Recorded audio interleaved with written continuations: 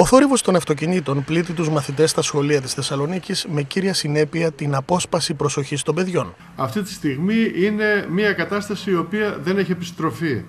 Δηλαδή τα σχολικά συγκροτήματα τα οποία είναι εντός του ιστού και τα οποία ούτως ή άλλως θα συνεχίσουν να παίζουν το ρόλο τους μέσα στην πόλη της Θεσσαλονίκης, εμείς πρέπει να βρούμε τώρα αντιστάθμισμα τα αποτελέσματα έρευνας που πραγματοποιήθηκε με 24 ώρε μετρήσεις έδειξαν ότι σε πέντε σχολικά συγκροτήματα 836 μαθητές εκτίθενται σε θόρυβο που ξεπερνάει το όριο των 65 δεσιμπέλ και φτάνει έως τα 80.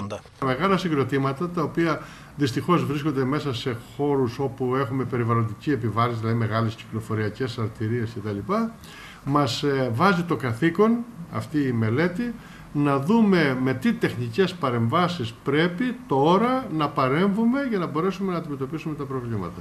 Τα χαμένα έτη υγιούς διαβίωσης με βάση το θόρυβο στα συγκεκριμένα σχολεία υπολογίζονται στα τρία χρόνια και τρεις μήνες, ενώ με τη χρήση ηχοπετασμάτων ο δείκτης αυτός είναι δύο χρόνια και τέσσερις μήνες. Το αντιστάθμισμα είναι η βελτίωση της μικροκλίμακας, γι' αυτό κάνουμε σχολικούς δακτυλίους και σχολικές αυλές, αλλά και η βελτίωση σε σχέση με τη γυτνίαση με τις, ε, με τις πηγές των ρήπων. Άρα ηχοπετάσματα ή άλλα αρχιτεκτονικά στοιχεία τα οποία στο επίπεδο της ακουστικής και στο επίπεδο της τεχνικής θα μας λύσουν το πρόβλημα. Πρόκειται για την πρώτη προσπάθεια καταγραφής οδικού κυκλοφοριακού θορύβου σε σχολικά συγκροτήματα του Δήμου Θεσσαλονίκης που ανέδειξαν ότι στο 4ο Δημοτικό, στο 30ο Γυμνάσιο αλλά και στο 24ο ΓΕΛ η λήψη μέτρων ηχοπροστασίας είναι άμεσα επιβεβλημένη. Και πρέπει να επεκταθεί και σε άλλα σχολικά συγκροτήματα. Κάναμε μια μικρή προσπάθεια σε, ε, σε σχολεία τα οποία σας είπα έχουν μεγάλο, ε, μεγάλο αριθμό μαθητών